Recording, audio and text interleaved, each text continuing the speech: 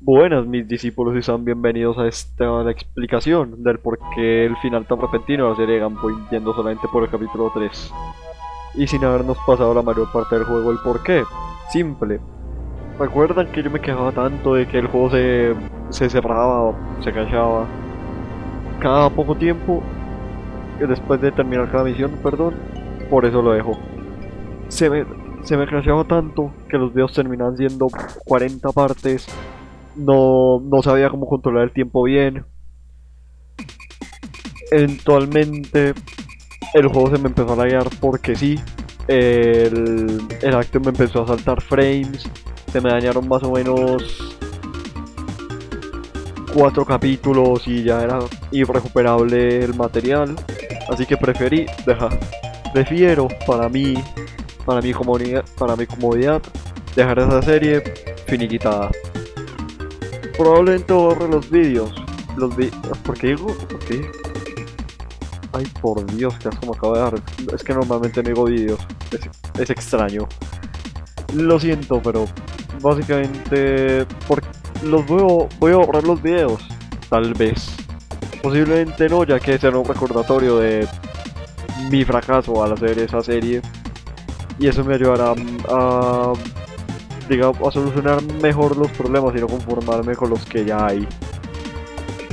Y la explicación es esa, además, de que cuando el, acción se salta frames, se lo salta. Pues simplemente esos frames se pierden completamente y son irrecuperables, cosa que daña completamente la grabación. Y el por qué sea esto, yo tengo una teoría de que es por los bajones de frames que tengo. Mi PC, como pueden ver, no es, no es bueno pero en lo absoluto. De hecho, mi tarjeta gráfica ni siquiera es una GTX, es una GT. Una GT 520 creo, exactamente. Mi procesador, bueno, también está un poco desfasado, pero no tantísimo como la tarjeta gráfica. Pero de todas formas, no puedo jugar juegos con un frame rate grabando tan estable como me gustaría pero al parecer encontré una solución, el cual es en vez de grabarlos directamente con la, con la aplicación de la, aplicación, no, con la ventana de la acción de grabar el juego en sí, sino grabarlo en modo ventana y ajustar simplemente la pantalla. Como, como se dan cuenta, así es como está grabada la serie de la serie de, Pokémon verde hoja.